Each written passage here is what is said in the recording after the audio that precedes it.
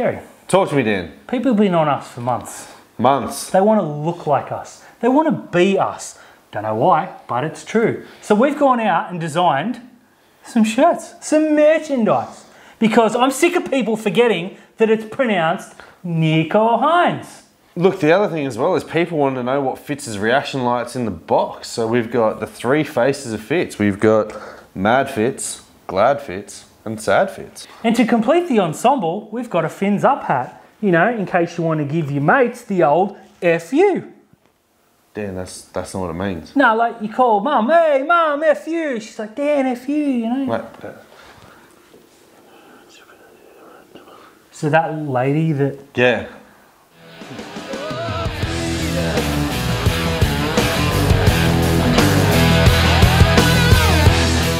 Hey guys, welcome back to another episode of Rugby League Outlaws, brought to you by our great friends at Top Sport, onelittlefootyfan.com.au, and the Stubby Club. Don't forget to like and subscribe.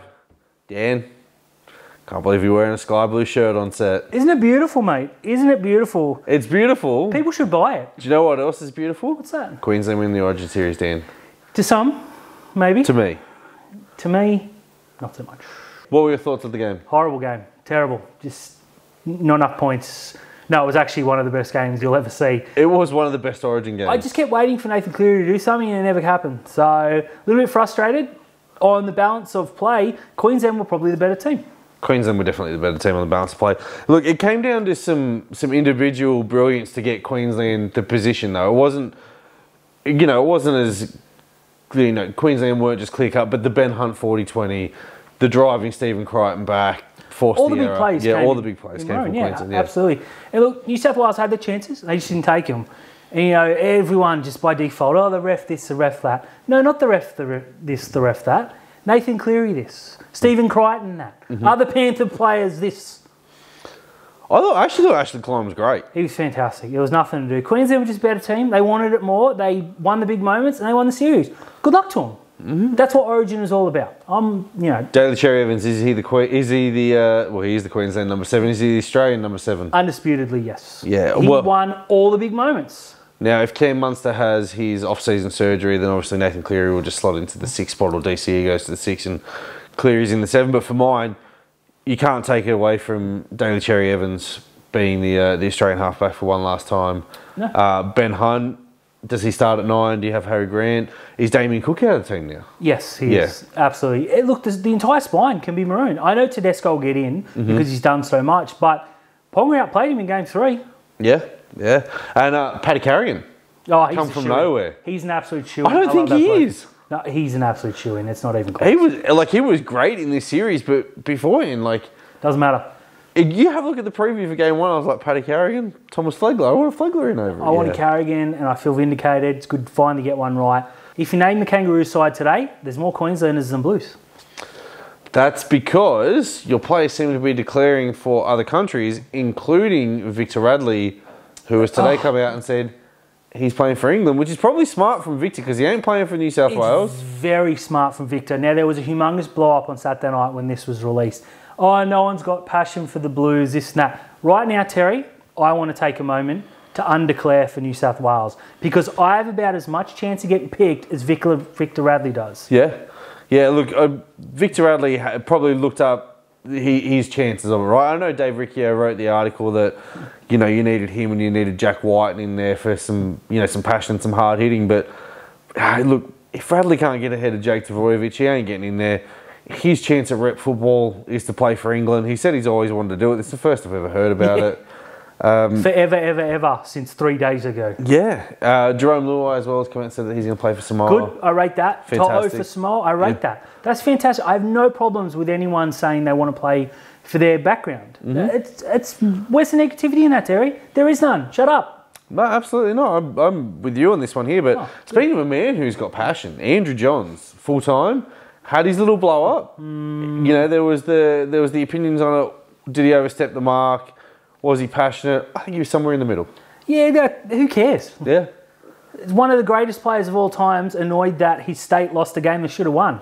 I, Oh no! Oh no, Terry! I think I think the thing that really revved him up was that Fatty asked him the question with a beaming smile on his face. I, he had every right to. yeah, of course he did. Of course he. Winners write history, mate. But I mean, like that that you know that burger eating grin from Fatty asking Andrew Johns a question like, "Why are you so upset?" You, that's the reaction you're going to get. Had it been you know the host of the show asking Joey a question, you probably would have got a different response. But Smith and Vautin are sitting there like elbowing each other, you know, going, "Oh, how great's this?" Joey's miserable. Like that's what you want. Like, Good on him. but I haven't seen that from Brad Fittler post post the, the you know like Fittler is, I think it's fair to say that Fittler's a little bit more mature than Andrew Johns. Mm-hmm. I don't mean that as a knock on Joey. No. Joey's very easy to stir up, whereas Fittler's, you know, I don't think anything you can say can bother him, which, which is, you know, got its positives and its negatives. But I have no problem with what was said on either edge. Of course, you're going to have a go at him. Paul Gallen was made to put a cane toad thing on yeah, and load the bags and onto the the, bus. bags. And he did it, and he didn't look happy doing it. Just like Darren Lockyer did in game two when he had to hang off the Perth Stadium when they lost. You've just lost a state of origin. You can't be, oh, oh well, we'll get him next year. No problems. Again, shut up. Dan, our Tigers are out making headlines. They certainly are. Our Tigers. Negative headlines. Thank you, Wes. Uh, look, it's been confirmed that Tim Sheens has appointed himself at the club, gone and sacked Michael Maguire, interviewed himself in a mirror, shook his own hand. Congratulations, Tim. Welcome Yeah, aboard. two-year deal, one point five million dollars Per season. a year. Yeah, that's. You, have you heard anything different? Or Look, I've heard 1.8, but I, I think it's somewhere in between. Like, I can't believe he's 2.3 mil a season. yeah, look. If you're gonna go, out, if you're gonna interview yourself, you might as well give yourself the two point five you command. Now, uh, it's Benji Marshall has signed a five-year deal. Robbie Farah has signed a five-year deal as, deal as well. And if there's anything we know, it's Robbie Farah and contracts never mm. breaks them. Yeah, look, I know that it's the DNA of the Tigers, but like, they, you know, 2005 aside, these guys didn't really achieve much. Well, I haven't played final football since. So, look, I love Benji. I love him as a character. I love him as a football mind. He's probably my favourite analyst because he can be funny, but he, Yeah. he's also very serious. So I think it's a good move in that who's going to want to coach the Tigers, and who's going to want to take over Tim Sheens in two years? Yeah. No one. Put Benji in, put Farah as his right hand man. Those two can lead the club. I think it does buy them five years though, because for the next two, it doesn't really matter. It's rebuilding to Benji. But if Tim Sheens doesn't put a decent side in front of Benji Marshall, a rookie coach in two years' time, then what? Another five year rebuild? But they're, they're saying that you know the juniors who won the SG Ball and you know how they went in Harold Matts and their flag team's going okay now. These are the guys that are going to be ready. But you're banking that on all the juniors. You've still got to attract other talent to go there. Um, look, I think this is the only decision the Tigers had. They went all in on Cameron Ciraldo. They played this out in the media. They did. He's come and had a look at our centre of excellence. He's come and had a look at this. He's interviewed with it. He's done It's a shed. He's done tours of everything else. He's come and seen our luxury gym that we've got. No one after that was going to want to apply for the Tigers job because you were always going to be second best. Like they were Ciraldo or nothing. So I think all the guys like Shane Flanagan, Andrew Webster, all these other coaches that are off now probably looked at the Tigers and went, not the place for us because they didn't want us in the first place. So Very true. It was either this or you proceed with Brett Kimmorley. Now, Brett Kimmorley's come out yesterday and said the Panthers were disrespectful by not naming the Origin stars. They just beat you. yeah, What? What do you want to lose by forty? Just take the chance. yeah, like He's showing his. I mean, the other week we joked that the Panthers New South Wales Cup team would beat the Tigers, and they did that. ta-da! Uh, Noddy, it was it was probably respectful that they did rest the stars because you would have got an absolute hiding. They got away with it. Yeah. Oh god. You want to speak disrespectful? Naming Ben Hampton in the halves against the Sharks. They got what they deserved. If you want to speak disrespectful, Joseph Manu. Oh, oh, oh, okay. I saw a blow up about this and I thought, what? I don't remember that because we are watching a far more important game, but more about that later. So those who didn't see it, Joey Manu gets the ball, breakdown in play, grabs at his, his leg. Yeah. Like, oh, I got a cramp. Everyone stops, through the line, try assist. Good or bad? Terrible. Ter- like if I was the video referee, I would have like found a way to take the try off him. Mm, I'd be like, Joseph Manu, knock this ball on. You can't convince me otherwise. We have a decision. it is what it is. Mate, what That was horrible. Like I, I already don't think much of Joseph Manu, and what little bit I thought of him as gone out the window. It, completely fair. I, I'm a huge Joe Manu fan. I'm on record as, as praising him at every chance I get. This was pathetic. Yeah, there's there's levels of sportsmanship in the game, Yeah. and that just wasn't it. Like if he stopped and everyone stops and he goes through, oh well, that's on the defence. But he's injured. You see the players go to grab him and he runs through a line. That was despicable. Yeah. And I haven't seen enough negativity about that. Everyone's blowing up about the things that are great. That was terrible. Terrible. Absolutely. Terrible. Keeping on the lines of terrible. Ryan Papenhuyzen gone for the season. Horrible news. Confirmed a shattered kneecap, not just a fracture, a shattered kneecap. Full praise to him because he made that tackle on Jack Wighton and, and he was having a good game. Like he was, he was breaking the, the Raiders at will. He's just his passes were all over the place. But just as he went to make that tackle, his leg slipped out, knee on knee collision. Awful. Awful stuff. Ends his season and potentially next as well. We had Royce Hunt do something not as bad, and he Yeah, missed patella a tendon, year of football. And I mean, Royce Hunt's obviously a different body type to Ryan Papenhuyzen. Maybe that'll come into it, but I mean, that's terrible. You never like seeing any player get Mm. injured, especially a gruesome injury and a superstar of the game. He's, he's we've been robbed of a season of Ryan Papenhuyzen. He's only been on the field for ten games, and he was leading the Dally M's by a country mile. Yeah, it's a, it's a real shame. I mean, there's no, no fault, Yeah. nothing. It's just one of those things that happen. Yeah. But I do have to say, Jack Wighton made a break, had an unarmed player, and ran over Papenhuyzen rather than passing. I wish he'd just passed the ball. I, I, th- I think Jack White took the safety first play on that. There were Melbourne players around. You know, if you pass the ball, you drop it, or he gets tackled. Quick play the ball. They got the two points from the penalty. They got the two points from the game as well. Now to round this out, Dan Kyle Flanagan ignited a beast in Cody Walker and the South Sydney Rabbitohs. If you didn't see it, 22 all. Paul Vaughan scores makes it 26-22 with a kick to come. Kyle Flanagan goes and gives Cody Walker an absolute mouthful. The Rabbitohs fire up cool. and go on with it. It they go on and score yeah. six, yeah, 16 unanswered points. Um, Inexperience from the young lad. man, like Kyle Flanagan was having a really good game as well. Two try assists, kicking well, defending well. But That's all you'll remember. yeah, don't talk until the game's over, Kyle. Hey, Cody Walker, one of the best players in the game. You suck, you suck, you suck, you suck, you suck. Not smart. Inexperience. Not good. Yeah, say it in the 80th minute, not in the 65th. Yeah, that's it. Wait till the game's over to uh, to say your piece. But uh, oh well. Well.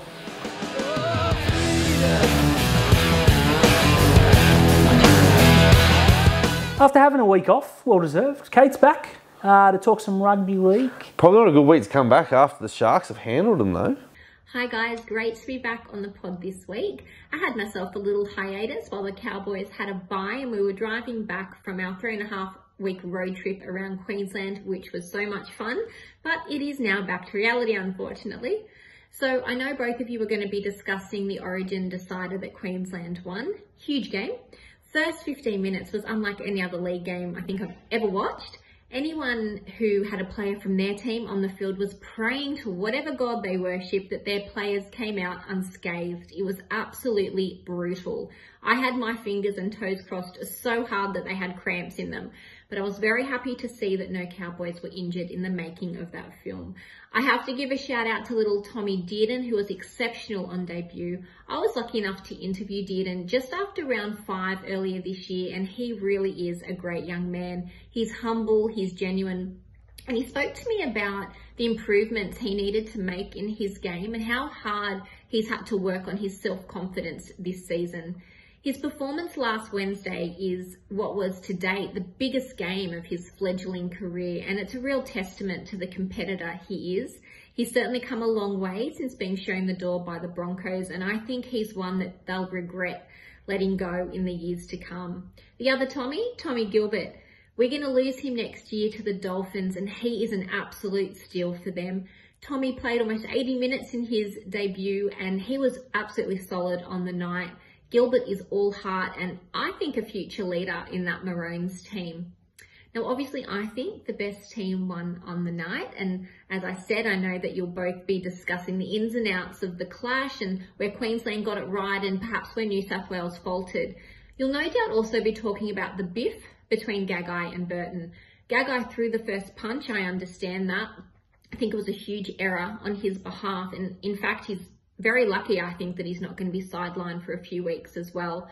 But I did want to talk about this a little bit more in depth because it's been a huge talking point post match, possibly and unfortunately overshadowing the skill and athleticism of the players and, and the game that was played on Wednesday night, as these incidents always do. Now, I'm not going to get on my soapbox here, but I think it's worth talking about this on field incident in the context of why it got under the skin of a lot of viewers and fans. There's always varying shades of opinions when it comes to these sorts of incidents on the sporting field. But if we look at it with a wider lens in terms of issues that we see within our own society, we can maybe start to appreciate why seeing this sort of thing in sport matches grates on some people. It's been widely reported that during large sporting events, domestic violence and non-domestic violence issues rise. In an article published in 2018 by journalist Jenna Price, Price wrote, there is a massive spike in the rate of family violence in New South Wales on rugby league state of origin game days. This research was based on six years of data from the New South Wales Bureau of Crime Statistics and Research. The report revealed an increase of nearly 40% in domestic assaults in New South Wales on state of origin nights compared with any other Wednesday. Now, while the report makes a correlation between alcohol playing a factor in the increase of both non-domestic and dom domestic violence issues during origin, you could argue that the bigger social and cultural issue here is simply violence in general. And I think it is a genuine question to ask, why are we seeing a violent outburst like this on a sporting field? If they behave like that on the street or at any other establishment, they very well could be arrested for assault. We know how deadly just one punch can be, so why would athletes be throwing punches at each other's heads over a game of league? There is a line that's crossed in sport when you purposely try to injure an opponent, and it was crossed the other night. As it always does, Twitter lends itself to a range of differing opinions, and this incident was no exception.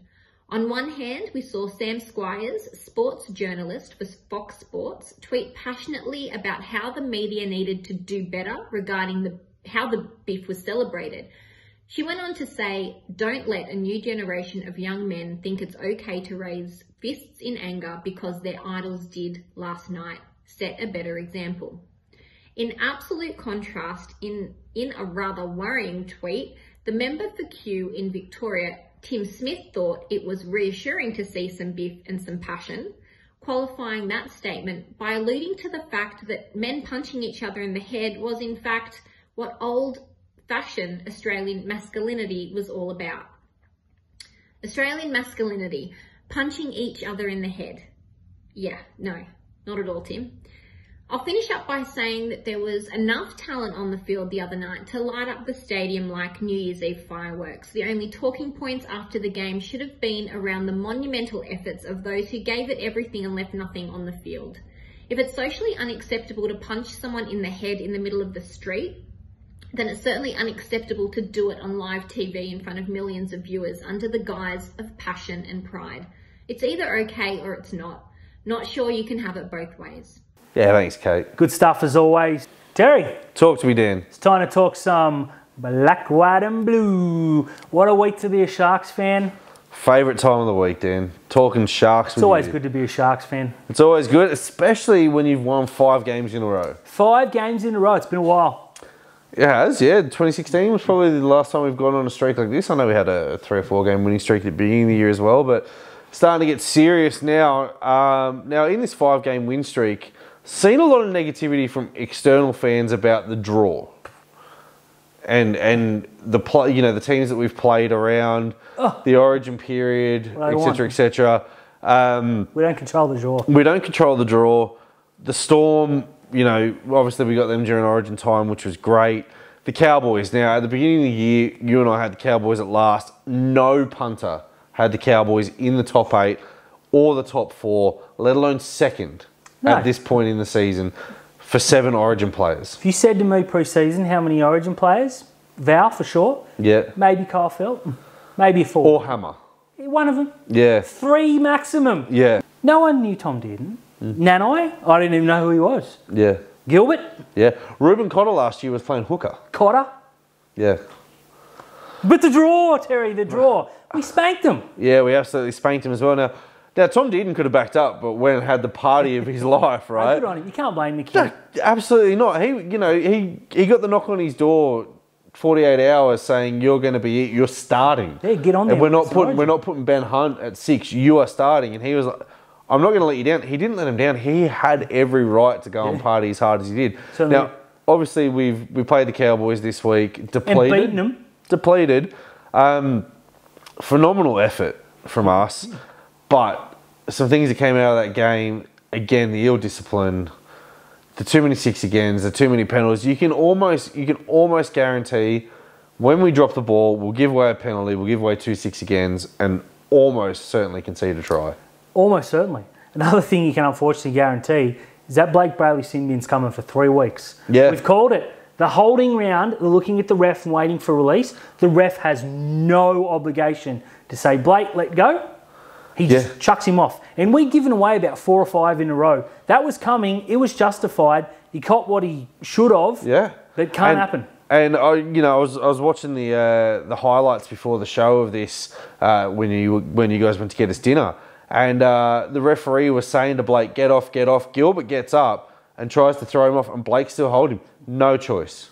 No, he had no choice. Yeah, They've we, been peppering our We lines, can't be doing this now. We're, we're, we're coming up to a, a tough fortnight of footy. Absolutely. Yeah, Full strength sides ahead. Yeah, too. and we're you know we're playing the best team that the NRL has has seen. You know, in in the last decade, I don't care. This Penrith team It's ridiculous. is absolutely unbelievable. They've lost like five games. Yeah. So Give him an inch, they'll take a mile. yeah, you drop the ball, give a penalty, and give a six again. You might as well just go and hang out under the post because Cleary's going to be taking a shot from somewhere. Spot on. Uh, what I do want to talk about though, the the positives from this game, and again, I know we had it against Melbourne, but we didn't have it like this. Nicho Hynes' game management, it's it's up there with the best in, in the comp at the moment. It's very good. Now, unfortunately, there were a few kicks. One went out on the full and a kick went dead. People remember the negatives. You can do five good things and one bad thing, and everyone says, oh, yeah, but. Always on the negative. Overall, we don't win that game without Nicho No. Hynes. The amount of times he just sees a, you know, space, third tackle, let's just play it down their end. And we wore him down in the end. In the last 15 minutes, I didn't feel like we were ever going to give that game up because the Cowboys were exhausted mm-hmm. from turning around and rucking it off their own line. What I will say that negates Nicho Hynes a little bit though is Blayke Brailey's decision making. Now, a couple of times Hynes went to go right, and Brailey turned it to a forward on the left. You could see all night that Hynes wanted to get the ball to Teig Wilton, Jesse Ramien, Sione Katoa, but we got pushed left. And this is where, when he becomes a more mature halfback, that he's going to be able to overcall that play. But right now, Blayke Brailey's got more runs at the Sharks than him. Yep. But you know, Hynes super impressive. Man. Super, super, impressive. I thought all our big players were the other day. Will Kennedy's had a couple of quiet weeks. You know, wasn't at his tremendous best this Thursday, Mm-hmm. Still Friday night. safe under the high ball though. Very, very much so. And that is where we've fallen down in the past. You know, the silly knock-ons and conceding weak tries. We conceded two tries this week with 12 men. Otherwise, we weren't really worried. No, uh, Toby Rudolf had a monster game for us. Took it to that Cowboys four pack. Made it personal with uh, Jason Taumalolo. Yes. Another person who had a big game again though. We've mentioned him, Jesse Ramien. Ramien is, He's red hot form. well, you just, just read that he's the centre of the week on NRL.com. Yeah. Yeah, as he should be. He was dominant. That opening half from him was just next level. But there was a time there where every time Ramien touched a ball, he either scored or almost scored. And we decided, ah, let's cut him out. He's having too much fun over there. His super coach points too high. They should have just fed him all night. We would have won by 30. Yeah, look, he had Hammer and um, Brendan Elliott on him. Those guys aren't stopping him. No, he had him on toast, is what he had. Yeah, he, he, he That has- first try was so easy. He ran And he had four people on him. Yeah, and he just said "see ya" and scored. Oh, oh oh I love Jesse. I Ramien. love Jesse This Ramien. Jesse Ramien is beautiful. And you know who else I love? Who do you love, Terry? Jesse Colquhoun getting a debut. Oh yes, we've been calling for this for quite a while. Big boy, isn't he? He is a big boy. I am willing to say right now that he's the next cab off the rank. If- Yeah. If, anyone goes down injured, he's the next one up. We thought it might be Tommy Hazelton, who's done nothing wrong. No. He, he was giant for the Jets yesterday. Scored another try. He's been fantastic. But the upside of this kid is ridiculous. Yeah, Je- Jesse Colquhoun has got it. Oh, he's got it. He has absolutely got it as well. And he came he came on and played in the uh, on the edge for Wade Graham, and you could just see him like he was in the middle of the field just hitting people, and then he'd run back out to his edge, and then he'd run back in to hit someone, and he wasn't shy of taking a hit up six runs, sixty meters, did his job out there as well. Absolutely. Yeah, I'm Look like he belonged. I'm impressed with him as well. It's uh, you know, it's a It's exciting times in the Shire, mate. When's the last time we could look and say, you know, we got four or five potential superstars coming through? There's always one, yeah. but we're talking numerous. Now, uh, wrap this up, Dan, we play the Penrith Panthers this week, and as we've just said, arguably the best team that I, I've seen Yeah, go it's hard to argue with that. Uh, what are your expectations, and what would you see as an acceptable result from this game? We can't get blown out. No. You cannot go in on a five game win streak, beat the two teams above you, now one's below, which is great, and then go and lose by 40. Yeah. If we do what we did a couple of years ago to Penrith and get blown off 40 to 10 or 40 to 6, You know, we meant 54-24. yeah, that, Yeah. disgusting. That would be demoralising. If we go get beaten 14 12, whatever, we'll get them in the finals. You learn lessons. You know, this is a Penrith team that they're well rested. All their superstars have had over a week and a bit off. They're going to be keen to come in. They've come through Origin unscathed, but they're going to want to kick up now. This is where after Origin last year, they went into a gear no one got near. Now, I know they lost the finals, but then they went and beat them. So I'm, I'm not worried about that. I'm worried about Penrith, absolutely, but we have to worry about ourselves more. Yeah. Match them in the middle, go with them. We can beat this side. Yeah, you can't make the mistakes. You can't, you know, we have to complete above 80%. Um, look, I mean, even if we if we went there and lost 26-10, but the performance was, you know, you're happy with it, the completion rate was good, Couple of late your defense was good, but, you know, just the class of them, and you've got something to build from, I'd take it. But yeah, it, you know, if you go and if you go and lose by 30 and 40 points, this winning streak means nothing. Absolutely. Just quickly, Newtown Jets, top of the table. Top of the table.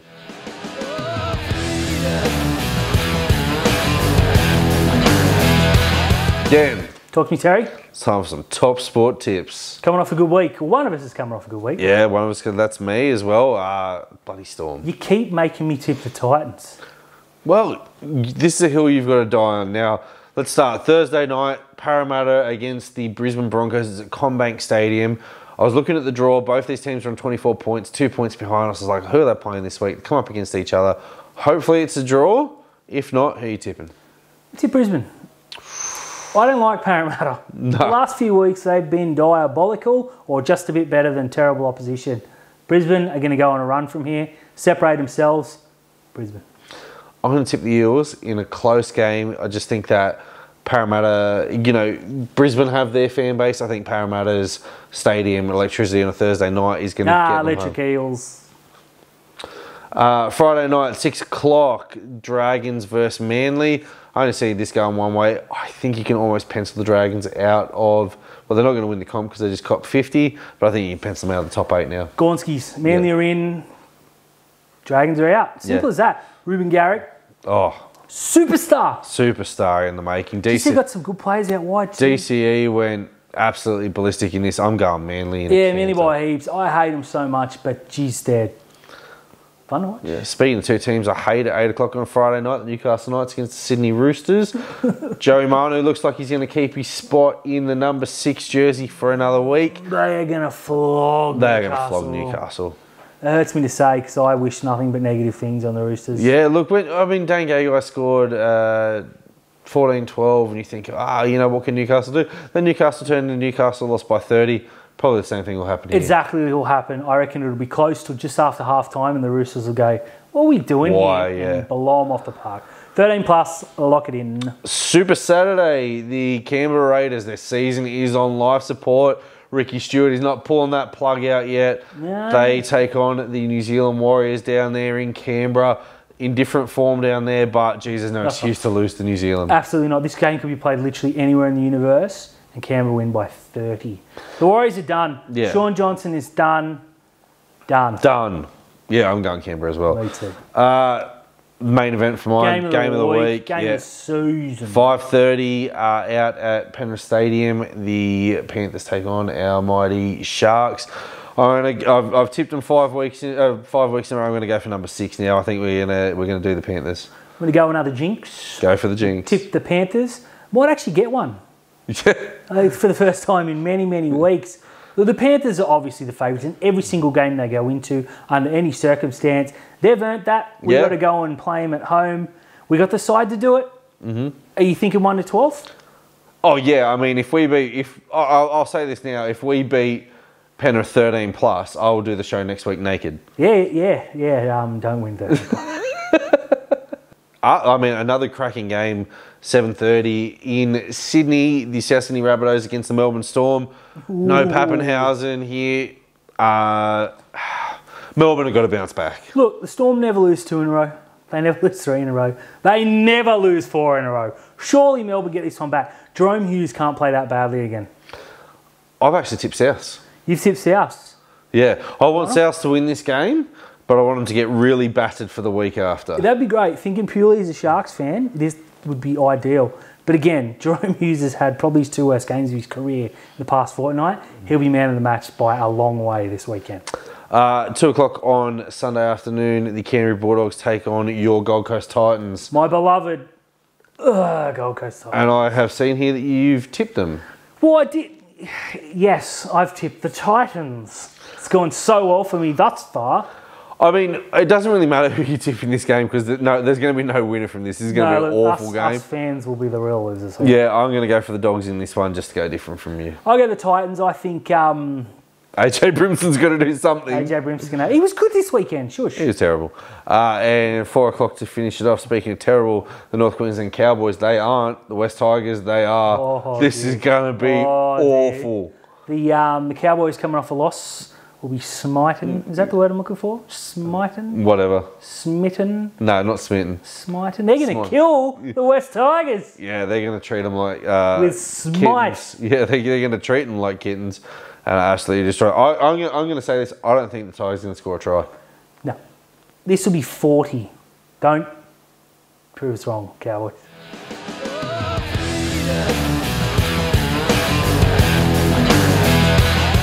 Hey guys, thanks for tuning into another episode of Rugby League Outlaws brought to you by Punktured Media, our good friends at Top Sports, onelittlefootyfan.com.au and the Stubby Club. Don't forget to like and subscribe. Absolutely. Uh, also as well, give Guru and Kate some love as well. We yeah. love having them on every week.